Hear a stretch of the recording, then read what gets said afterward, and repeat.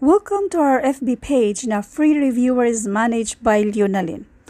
Yes, namimigay tayo ng mga libreng printable na reviewers. Para sa detalye, pwede kayong mag-message dito sa mismong FB page na to at ugaling basahin yung mismong auto-reply. So anyway, let's do multiplication of fractions. Sa multiplication of fractions, ang i-multiply natin ay yung mga numerators at denominators. Number 1, 2 times 5 and this is 10. Sa mga denominators naman, 3 times 7 and this is 21. Kung isimplify natin yan, hanapan natin ang greatest common factor. Kaso lang, ang greatest common factor dyan sa dalawa ay 1, so therefore, yan na yung sagot. Next, number 2. 4 fifth times 1 third. Again, sa multiplication of fractions, numerator to numerator, denominator to denominator. So 4 times 1, and this is 4, 5 times 3, 15. At hindi na natin yan masimplify, so yan na yung sagot. Next, 1 half times 3 fourth.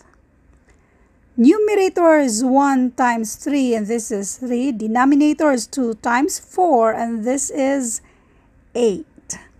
Next, sa number 4.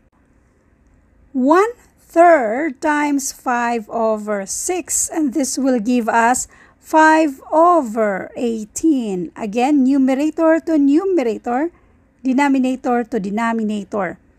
Now, ang, ang greatest common factor kasi dito ay 1, so hindi na natin yan malist. Yan na yung mismong simplified na answer. Next, we have 2 third times 1 half.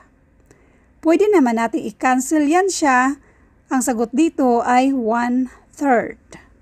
I-detalye lang natin. We have 2 third times 1 half. Numerator to numerator, we have 2 times 1 and this is 2. 3 times 2 and this is 6. Si 2 over 6 ay malist pa natin yan by finding the greatest common factor which is 2. So 2 divided by 2 and that is 1.